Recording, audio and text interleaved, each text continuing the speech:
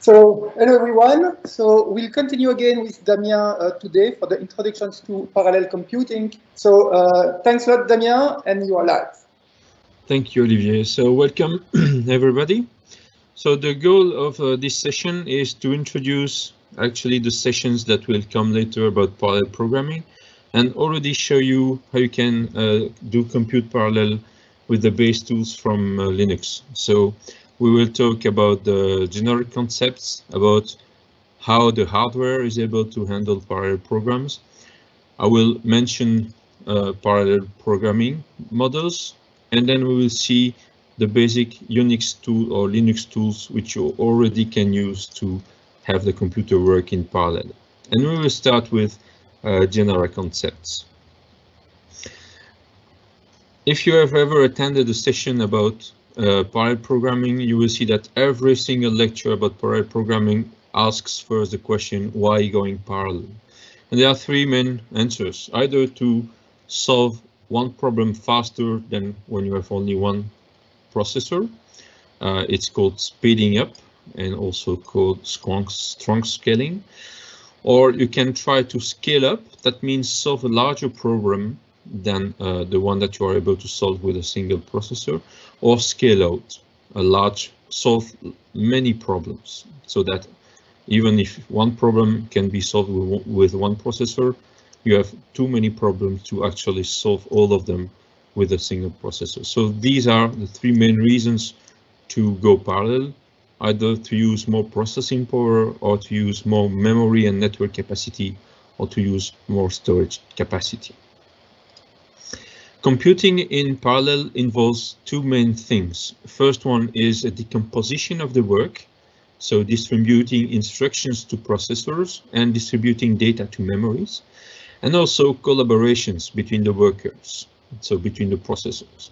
And there are two types of two types of collaborations that are needed, synchronization of the distributed work and the communication of data between the processors.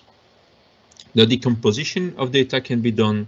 The so the decomposition can be done at two levels, either of the data, it's called data parallelism, or at the task level, it's called task parallelism. The data decomposition basically can be either arbitrary, like block or cyclic. You see here examples of the decomposition of a vector into uh, uh, blocks which are dispatched to four processors uh, um, identified with colors and you see it can be block decomposed or cyclically decomposed. You see an example on the left uh, on the right for the one dimension and you see the examples on two dimensions. You see with either a decomposition of only the lines or only the columns or both either in block or uh, cyclic and you can merge block and cyclic if you want. There's another type of decomposition for data, it's called domain decomposition. And there the decomposition of the data is made according to the physics that are being uh, modeled. So here you see an example of um, uh, data that represents a uh, jet engine and the different colors on the mesh uh, represent different uh, parts of the domain and you see that the frontiers of the domain have been carefully chosen to match what is expected uh, from a physics point of view.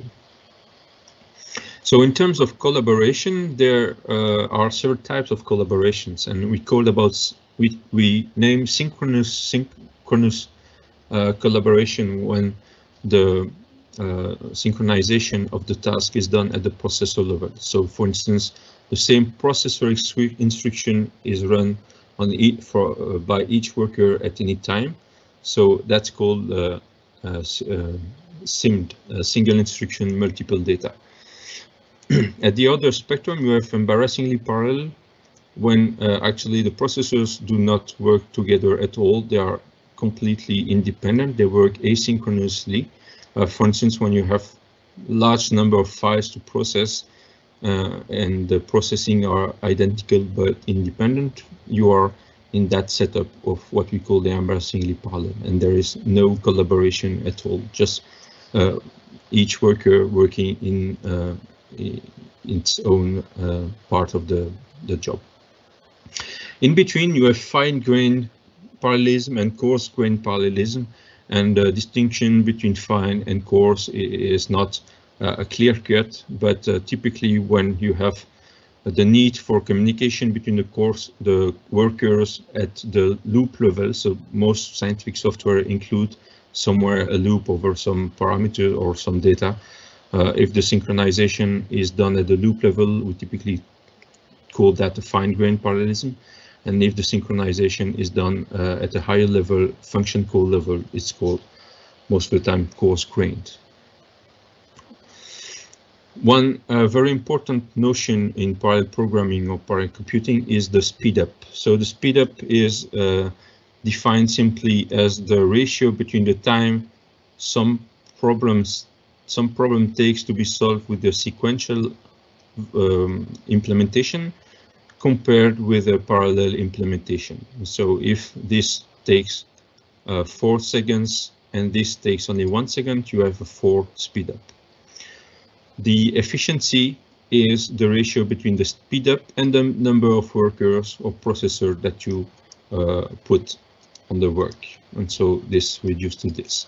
So what people are often interested in is this graph, which shows the parallel speed up as a function of the number of processors that you have. And uh, uh, the linear speed up here corresponds to a situation where when you double, for instance, the number of processors, you divide by two the time it takes to solve the problem.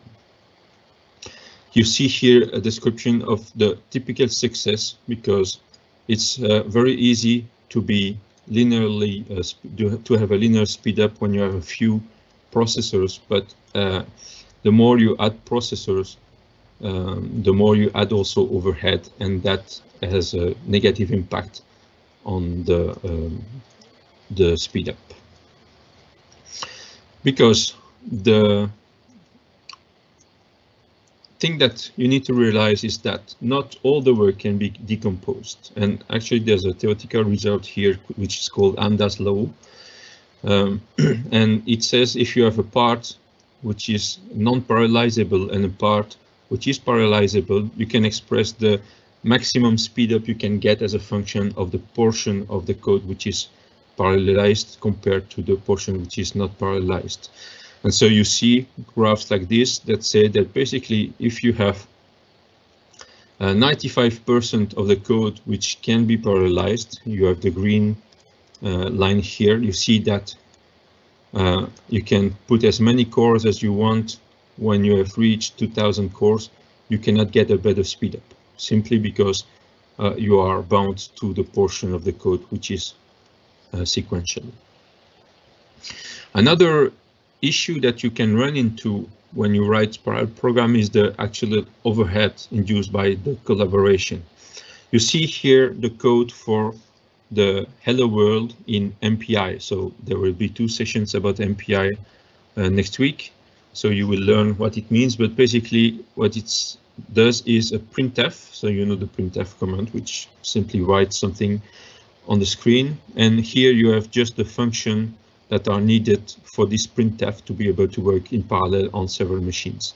And here, this whole graph is called is the what we call the the core graph of functions. So this is all the functions or the parts of the MPI libraries which are called when you run this simple MPI uh, Hello World program. So you see that if you had the equivalent without MPI uh, pure sequential, you would have probably two or three boxes, uh, simple call to the printf uh, library and itself a call to the puts um, kernel feature.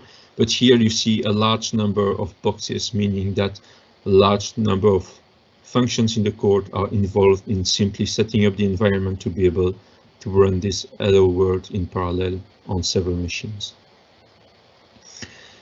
Another thing that is uh, also important to understand is that if you have load imbalance between the workers, if you have a worker that does most of the job while the others are not doing anything, uh, this is a problem when you try to have a good speed up because you are bound by the time taken by the worker that has the most portion of the job to do.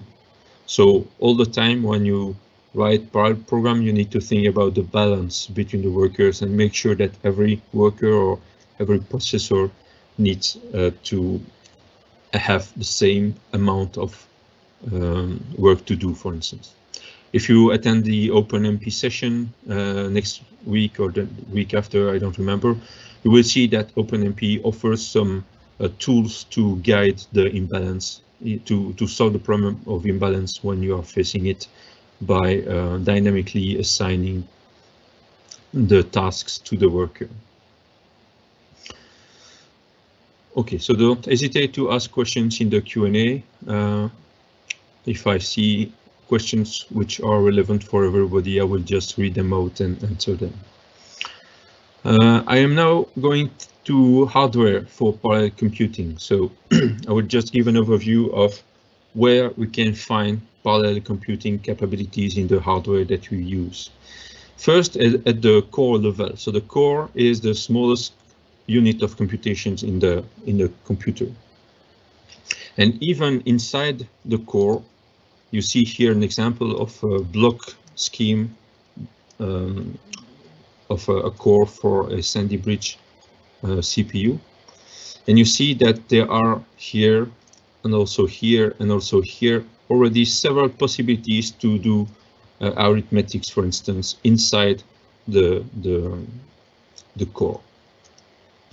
Furthermore, you see that these, these and these actually, and also these and these and these are able to do the same instruction on multiple pieces of data. So there, are, there is already inside the core itself possibility to do parallel programming, either with single instruction, multiple data. Uh, it's called the AVX, AVX extensions and the like, or with instruction level parallelism by just feeding uh, port, for instance, 0 and 1 with data at the same time. Most of the time you won't need to take care of that. It's mostly the job of the compiler. Now this is how a core can work in parallel and there are several cores on the same CPU socket or CPU. So here you see a, a dice shot, as we call it, of a multi-core processor, typically the processor that you can have in your laptop and you see that it has four cores that have the same capabilities as the, the one that I showed before. Now, on most clusters, you have two or even four CPUs uh, available in each compute node. So you can have two uh, CPUs like this or four inside the a single machine alongside with accelerators such as the GPUs or the uh, no different uh, uh, Xeon Phi, and there will be sessions about GPUs later in the in the in the fall. So in your computer, you can have multiple CPUs, each having multiple cores, and possibly having uh, accelerators, which even have more cores. And then at the data center level, you have multiple machines inside multiple racks inside multiple rooms possibly. So you see on the picture here, each of those rectangle is a computer with uh, two CPUs and uh, like 20 or more cores, I don't remember. And you see here the backside with all the network and the storage and the switches for the communication. And you see here on the left an example of the racks in which the computers are hosted. And then you can group together several data centers and you have a, a, a consortium like we have in CECI. So you know if you attended the first session that uh, as a member of any university from the CECI, you have access to all the clusters of the CECI. So actually, this is a way to gather the compute power from multiple um, data centers. And uh, one of the largest example of such collaboration is the, the worldwide LHC computing grid. So it's actually a large number of compute centers which have a large number of CPUs uh, inside them, which are shared in a common infrastructure to be able to work in parallel on a very, very large number of processors. There's another way of grouping compute power from several machines. It's called the grid computing, the cloud computing, sorry. Um, and you know probably the names of uh, the well-known examples that are Azure, Microsoft Azure, the Google Cloud Platform, or the Amazon Web Services. These are called public clouds, and here you have examples of private clouds, which are uh, installed inside the data center. Also, at the world level, you have projects like SETI at Home or Fold at Home, where people have uh, created software that is able to use the compute power from a large number of small computers uh, located anywhere in the world. So you can contribute to those projects with your laptop simply by installing the client on your laptop. And then when you are not using your laptop, it will ask for work to do uh, on the projects. So you see that parallelism can be done at the uh, core level, at the CPU level, at the node level, at the data center level, or even at the world level. It's all a matter of choosing the good programming model to be able to use different types of parallelism in those different projects. Talking about program programming models. I will just list some programming models here. Uh, just a broad overview. It's not the main topic of this talk. Just to introduce the programming models that you will see uh, in the future. So there are several ways, different different ways to organize the work. Uh, one is called task farming, is when there is no communication among the workers. So it's related to the embarrassingly parallel workloads. And you have in there two distinct types of task farming. Uh, either you have a so-called master that distributes works to the workers, often, uh, and now I know, know more and more often called leader follower, or uh, the other way around where workers pick up tasks from a pool, that's called work stealing. Um, no, the other paradigm when you need collaboration between the workers, so you need synchronization, is called SPMD, so single program multiple data. And in that paradigm, actually, you have a single program that contains both the logic for distributing the work and the computing part. And then uh, that kind of program is run in an environment that creates many instances of the same program uh, and uh, link them together. And typically this is the paradigm in which OpenMPI and OpenMP are developed. And if you follow the session about MPI or OpenMP, you will hear again this paradigm. And also you have the multiple programs, multiple data paradigm when you when uh, you have multiple uh, so uh, piece of software that work together in parallel and interact together. There are also other types of paradigms, a bit less used, but uh, it's always nice to know about. The pipelining paradigms, where when you have, for instance, here three tasks which depend on each other, uh, you can, if the problem allows it, for instance, uh, have the task A issue um, a part of its results so that task B can already start before the end of uh, all the work that task A has to do and so on to uh, C. So I will show you an example later on, but it's called pipelining. So when the the process B does not wait for the whole work of process A to be done before starting.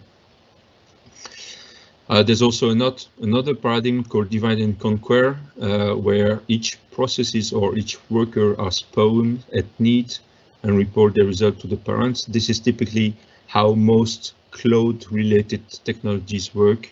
Uh, if you heard about big data and so on, most of the time they are based on this uh, paradigm. And there's also the speculative parallelism. Uh, so this is a paradigm which is uh, used a lot at the compute at the CPU level, so inside the core. Uh, it's much less used in programs um, written by uh, users, but it's something that can be very interesting. And the idea is if you have uh, in your program a branch with, a, for instance, an if statement and the computation of the uh, expression in the if statement takes a lot of time, you might want to simply run down through both um, uh, branches, the if and the else branch, on two processors, and then when you have the result for the for the condition, you just discard the the, the work of the processor that corresponds to the branch which does not uh, need to be followed. So I see a question, which paradigm would you use for computing the same thing in different points? So the same thing in different points, typically it's the uh, SPMD paradigm. So single program, so do the same thing, compute the same thing on different points, so it's multiple data. Um, about now the programming models. So uh, paradigm is a way to organize the work. A programming model is a concrete library or syntax in a compiler that you can use and take advantage of. For a single computer, uh, as I said earlier, you can have uh, parallelism in the CPUs or in the accelerators. And in the CPU, you can use uh, multiple CPUs at the same, so um, multiple cores uh, at the same time by using either of these uh, technologies. So pthreads, OpenMP, TBB, which is thread building blocks, or OpenACC, OpenCL. So we have here an OpenMP session done by Orian Louant um, in a few weeks. If you have GPUs, for instance, you can use either CUDA, OpenCL, or OpenACC, and you see that, that OpenCL is a nice thing that can be used to do parallelism at the CPU level or at the accelerator level. But it's sometimes uh, seen as a bit more complicated to comprehend that CUDA uh, for GPUs. But anyway, there are session about GPUs and OpenACC and CUDA in the future. So feel free to register and to attend them. Uh, about multi-computer parallelism, so when you have actually a memory which is distributed, you can use uh, MPI. So there's a session about MPI, uh, but that is often um, uh, used on clusters when you have a shared storage. If you do not have a shared storage, most of the time you will use something like MapReduce or things from the big data community. And if you have no storage at all, uh, BOINC, which is used in uh, distributed computing, like I talked about SETI-at-home or Fold-at-home, this is the library to use when you want to use that kind of resource. And then there are libraries uh, that allow uh, doing shared memory parallelism on multi-computer. So they hide away the fact that the memory is distributed on multiple computers. And what you see from a programmer's point of view is simply a single memory. Uh, and so behind the scene, the library takes care of making sure that every piece of data is available for every CPU at the good time, at the correct time. And so you have Coarrays in Fortran and you have UPC in C.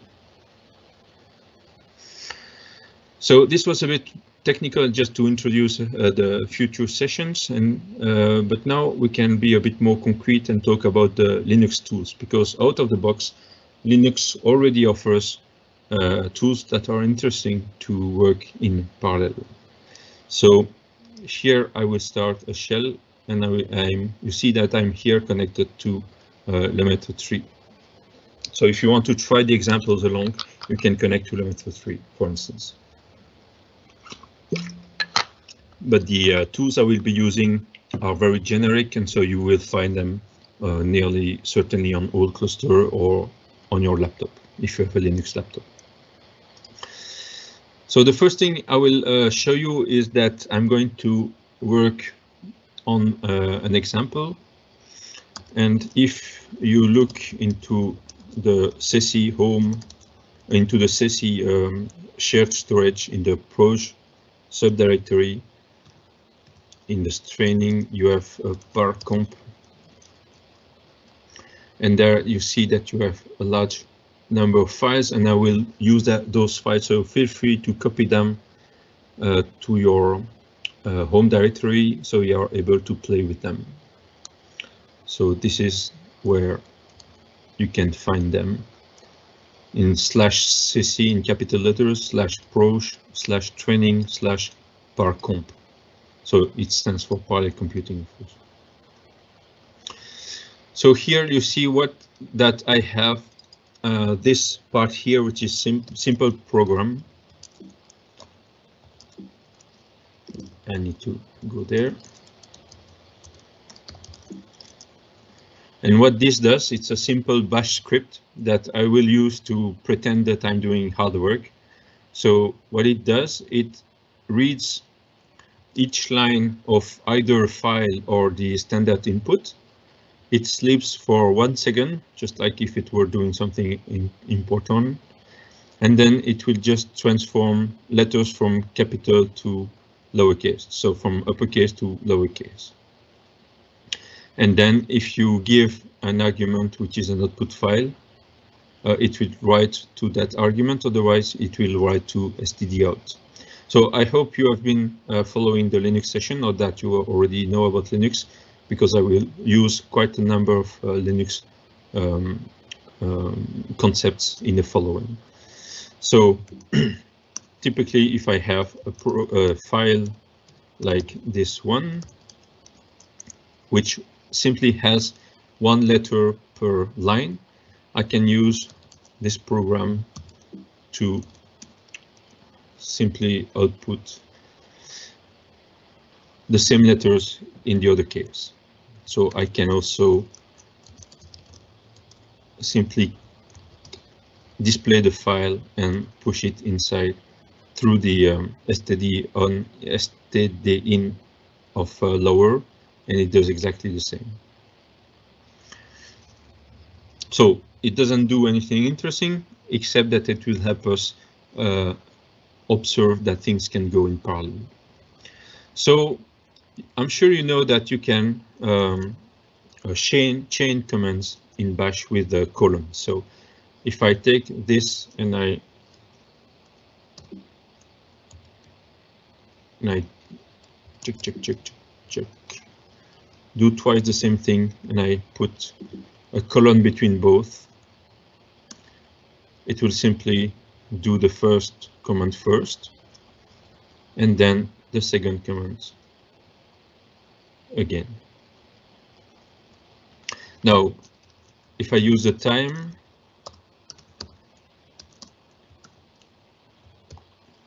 command from bash, I can do exactly the same, except that at the end, it will give me the time it took. Here it's 8 seconds. And it makes sense because the data size is 4 and we see that we have 1 second sleep per input in the file. And so uh, we run this twice. So the total amount of seconds spent is uh, 8. So this is simply what I'm showing here. Now, you might heard about the background term, and it simply says that if you put here an ampersand and here also, actually both commands will be sent in the background and they will run in parallel, possibly on multiple cores. The thing is that as they run in parallel, I need to um, use a wait command here to be able to have a correct measurement of the time. Otherwise, being sent in parallel, they will just go to the background. I will show an example here.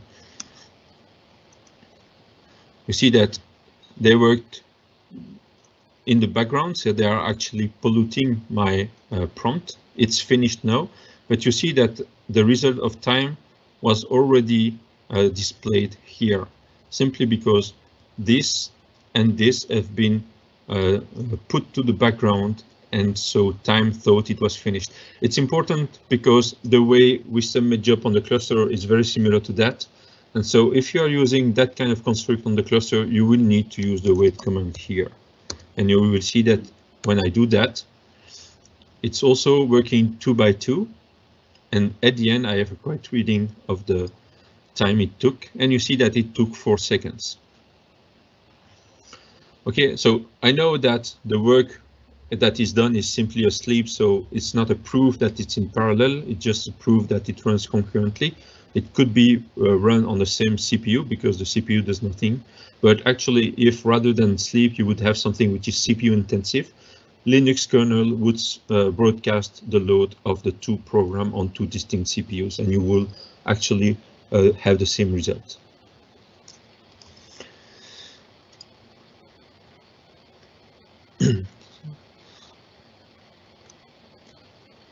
A nice thing to know about is Xarg. So here, if you look here, I have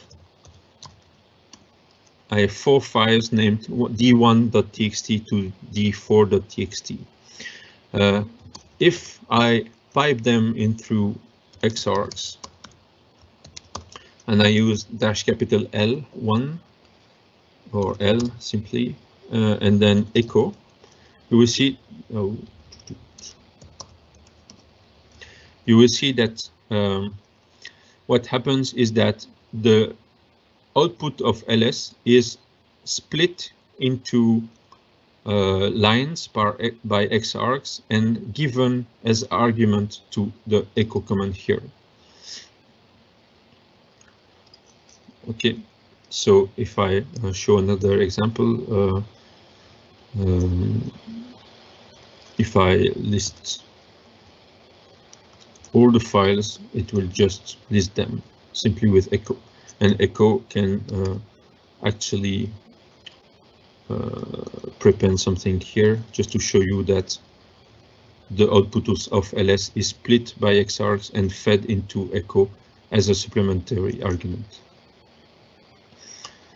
So what I can do is rather than running echo, I can run my lower program. Simply like this. So what you will see here is that the each of the D1, D2, and so on file is fed by Xarg into lower.sh as an argument. And so you see the first four ones here are the result of uh, running lower on this file. And the first after the four, the next four are the result of running on this file and so on. And so I have here a bit of time to wait because I have four lines by four and it takes time to do it all. So Xargs can be used to split the work uh, that is output by the ls command here and feed it into the lower command. So I will stop it here. Okay, it's finished. Uh, so seen like that, it's very interesting. But what is more interesting is that it has another argument. It's called uh, capital P. You see it here. And it allows to do the same thing, but using multiple processes and so also multiple processors. So if I do that, I just replaced, uh, I just added dash capital P4. You see now that it's all being processed four by four. And so as the work is the same, the total time it takes is uh, uh, a fourth. You see here with the time, with the time function, if I'm not using the dash capital P, it takes 16 seconds.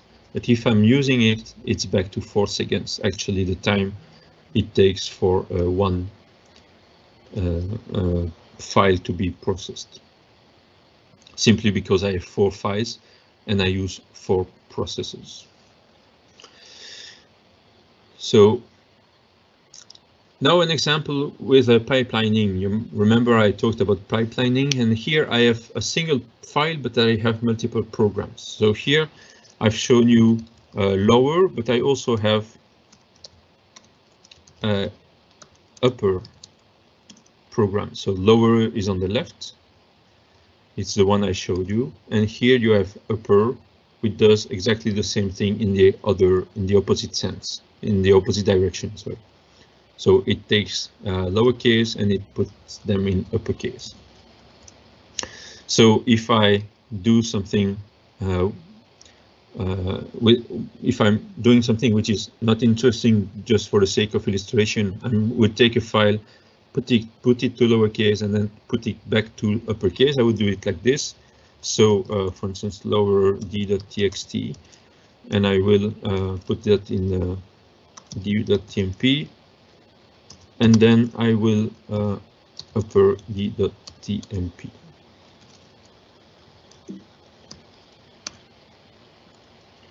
So here I'm not seeing the output of the first part because it's being sent to a file, but I see the output of the, of the second part. Now, the idea of pipelining is to avoid waiting for this file to be constructed and just link the output of this part to the input of this part. And now you see that, oof, after one second, I already see the output of here. So if I use the time here, you see here using the intermediate, sorry, using the intermediate intermediate file here, it takes eight seconds because you have one file processed twice with two different uh, programs. And if you are using pipes, which is the name of this element here. It takes five seconds. So it takes actually four seconds it takes for a full file to be processed, plus one second it takes for the first line of this to be processed. But as soon as the first line of this file is processed by this program, it is fed into this program and processed. So the output takes five seconds.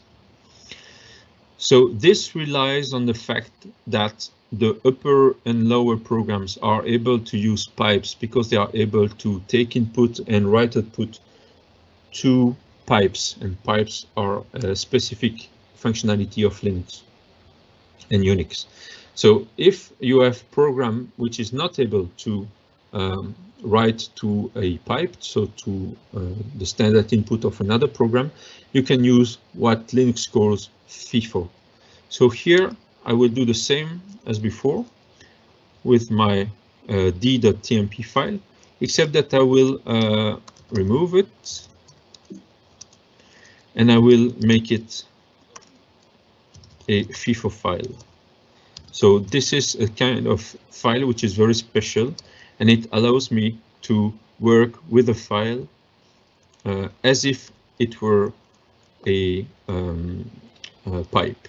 So here I put the ampersand just to make sure that both commands can run in parallel.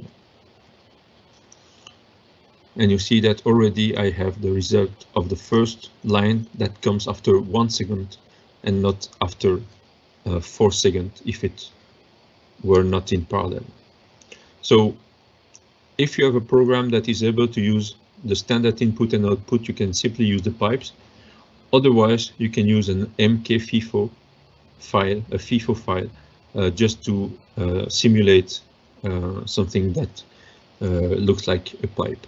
And uh, it has the same functionality as a pipe, so as soon as data comes in, it can be read by another process and consumed.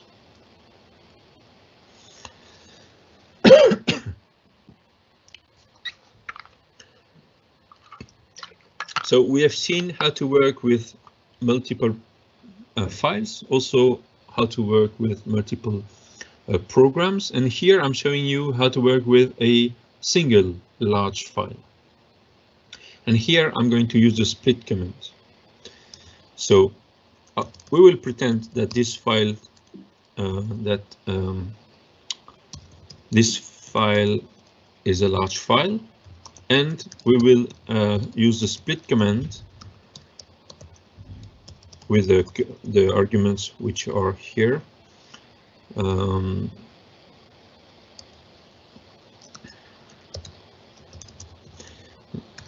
so the first one is just to avoid buffering because buffering is very interesting when you have a large file, but when you have a small example like this, you don't want buffering.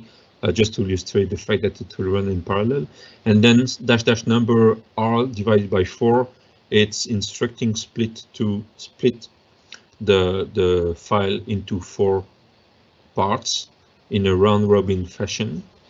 And then um, I will just use the dash dash filter and lower dot sh. Uh, yeah, it's not open, it's unbenefit. Um, okay. And the Okay, so here it complained that it didn't find the lower command because I forgot to add the dot slash here. And so you see they all appear at once simply because the lower program has been launched four times by the split program and each time it has fed it with one line of this file.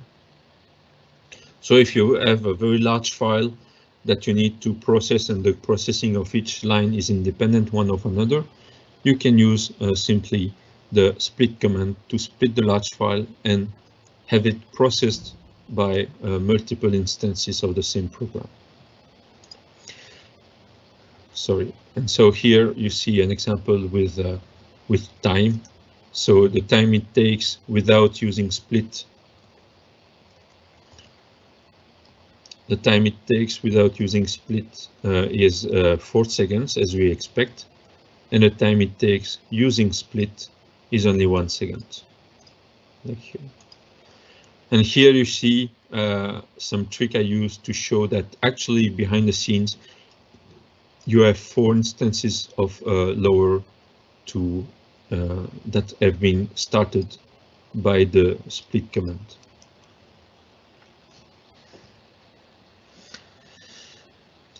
Okay, so this is another example where we have both multiple files and uh, multiple uh, uh, processes. So we have lower and upper, and we have uh, multiple files. So if I come back here,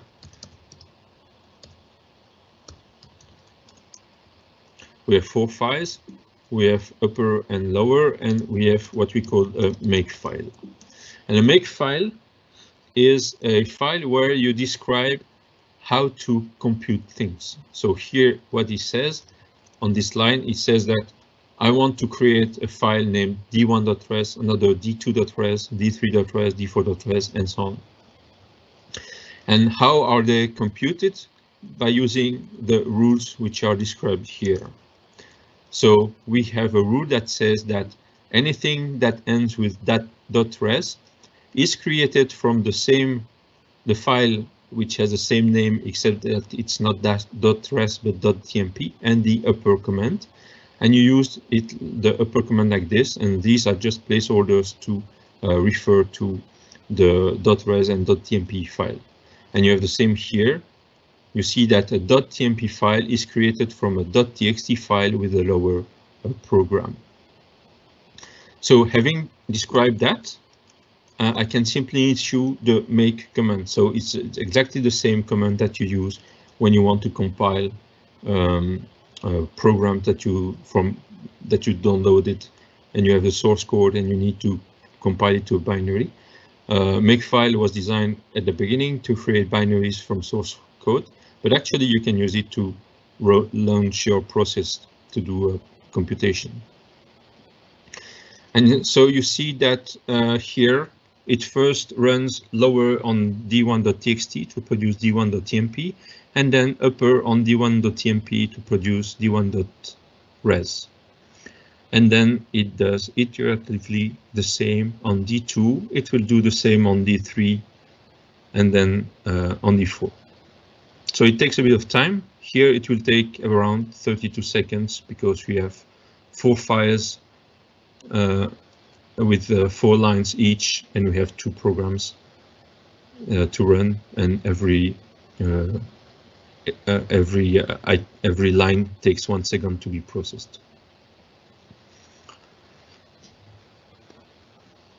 Okay, so now it has uh, created all the res files.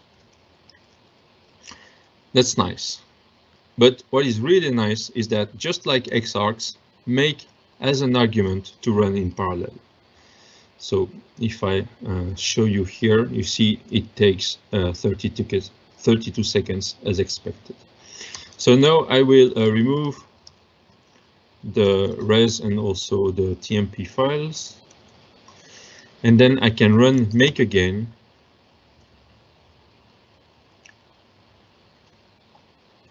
Uh, but then with dash J4.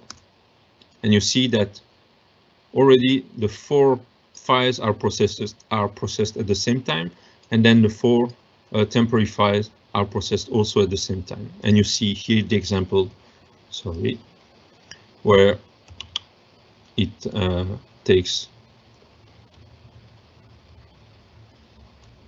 less time. My computer is acting weirdly. So I will let it cool down a bit. I see a, a question is, why do you use r um, forward slash 4 instead of p4? Uh, because a split, the idea is to uh, split the, the file, and so the the the r divided by 4 is to say to split, okay, take the first line, uh, give it to the first instance that you start off uh, uh, the program. The second line goes to the second file, the second instance, and so on. And then the fifth line in the file goes to the uh, first instance of the program, and so on. So in a round robin fashion.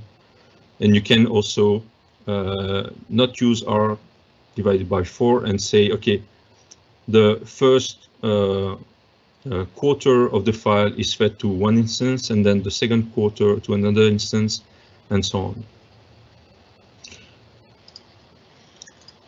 Okay, so back to make, you see that if I use uh, make dash J4 without the need for further uh, thinking about it, make will run in parallel what it can run in parallel.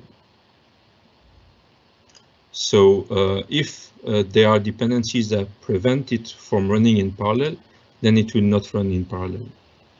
But here, the way that the dependencies are built, uh, you see that the four fourth files can be treated in parallel, and then the four, the, the four temporary files can be also treated in parallel.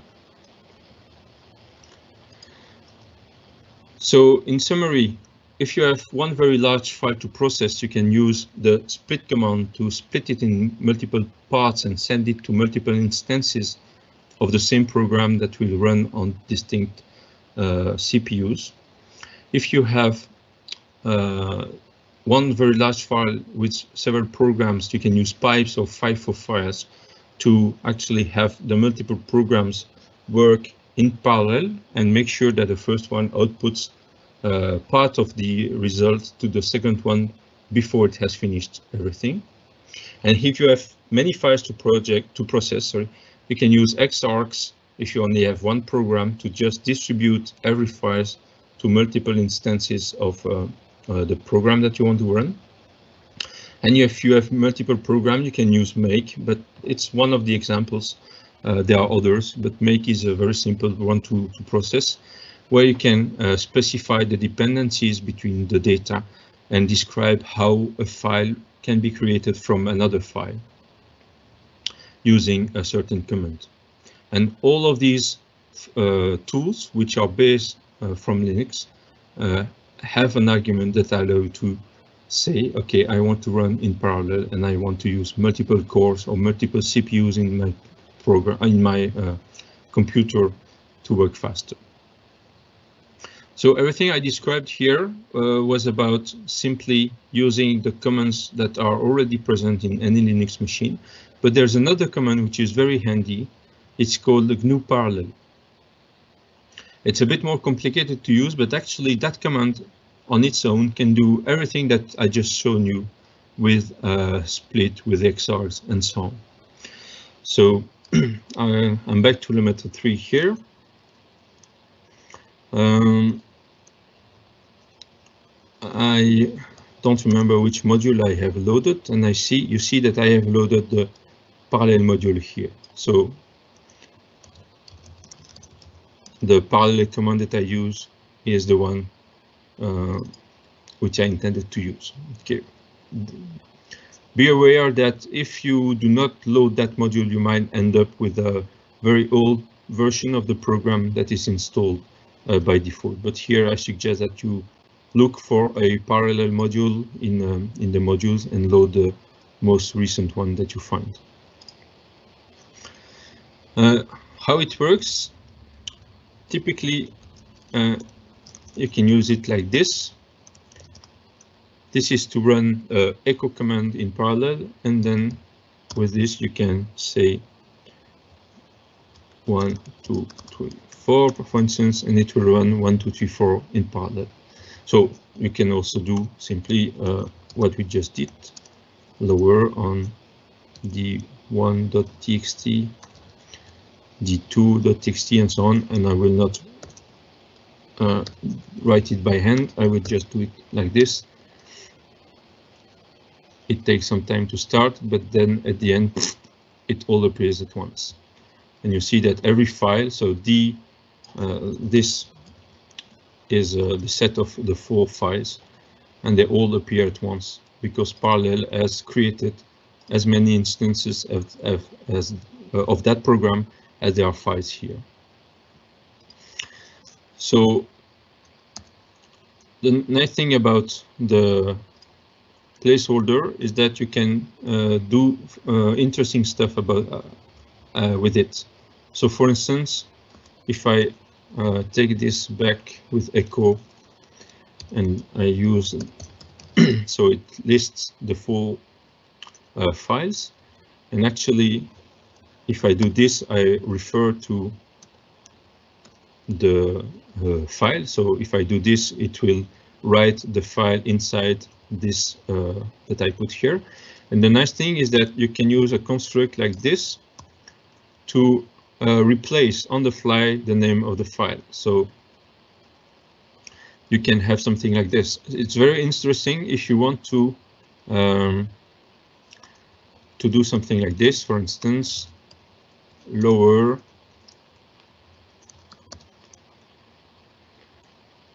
So I will just echo it so you can see what it does. So if I remove the echo, it will just run these four lines. So there. So there's a question. I would like to run the same Python script a few times with different arguments. How do I write it? So uh, if you have the same Python script, let's say, uh, okay, I will with a parallel here, we would do something like this. And then um, here you can have, for instance,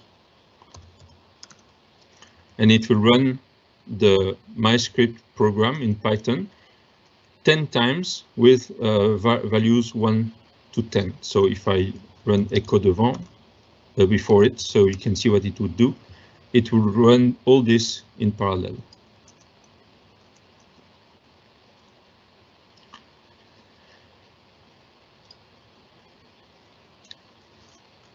Um, parallel also has the, the uh, possibility of having several arguments. So if I run uh, this, you see that it starts Python uh, script here with every combination of every, every element from this list and every element from that list. And again, uh, it will all work in parallel if you let it do. The more um, processes you create, the more you need to be sure that you are not creating more processes than uh, there are cores on the computer. So um, uh, luckily, uh, Parallel has an option to limit the number of cores that you will use uh, so that you don't overload the computers. But you see that you can create very uh, uh, instantly a large number of instances of the program with different parameters.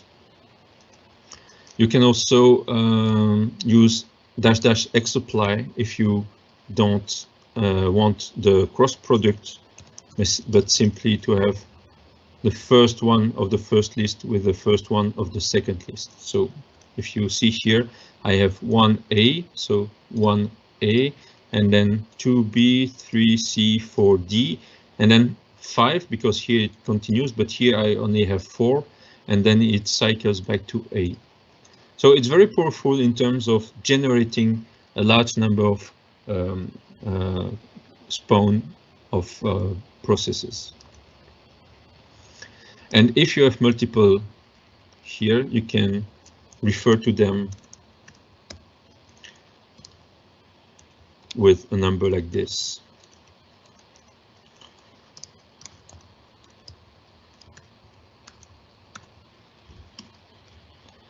So you see that it created some name file based on the values here, and which are placeholders for the first set of uh, arguments here. And this one is a placeholder for the second set of arguments here. you saw that here I'm using uh, three columns,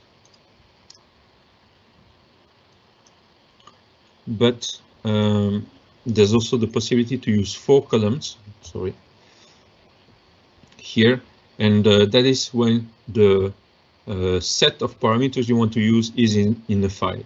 So here you see an example, an example where I have a CSV file, so the files that you can create with Excel, for instance, and it has a specific combination of number and letters, even with a heading. Uh, actually, Parallel has options such as colon separator and header to parse this file. And uh, then use the same placeholders with the name of the columns. And so if you uh, run simply echo, uh, it will simply run the echo command on each combination that is in the file here. So it's very nice when you have a large number of experiments, but you don't want all the, the um, cross product of all possible values of arguments, uh, but sim simply some specific pairs or simply some specific triplets. You can uh, store them in an XLS uh, CSV file and then use uh, GNU Parallel to run your program on every uh, line described in the file.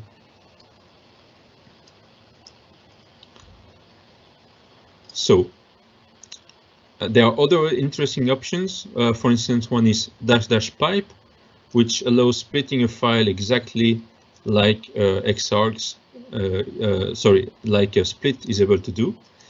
Uh, it has also a dash capital S option that which allow you to use a remote servers through SSH. So if you have data on your laptop but you have access to distinct machines, not clusters, but uh, uh, single machines. You can use the capital S option to say to uh, parallel, okay, I want you to run this command on that data in parallel, but you um, have access to you to those uh, remote computers. So take care of uh, sending the data over there, running the program, the program on the remote machine, and then copy the result back. So uh, GNU Parallel is very efficient uh, very nice to do that. Uh, but on the cluster, it will work a bit differently, and you will see that in the Slurm session. As I said, you have the uh, possibility to, sorry, to limit the number of jobs as they, as uh, it's called in the parallel uh, to make sure not to overload the the the compute nodes. Also, something interesting is the dash K option, which is to uh, keep the same order because you know that when you work in parallel, uh, you cannot decide the order in which the job is done. And so if you want to keep the order, you can use dash K. So uh, simply GNU, uh, the program GNU parallel will keep in memory the output of every uh, worker and just sort the output at the end so that it fits the output, the order of the inputs. Also, you can use a dash dash delay option to uh, to uh, make sure that they do not all start at the same time. For instance, it's important if you have a program that reads a file from the from the disk, you don't want them to all start at the same time because they, they will uh, fight for access to the disk, there will be contention and actually you will lose more time than if you uh, specify a small delay here to make sure that they do not start at the same time. And also something interesting is uh, dash dash timeout, just to, to kill a task after n seconds if it is still running. So if you have processes that might not converge or something like that, or you have the risk of entering an infinite loop, it's interesting to have a sort of job management built in there.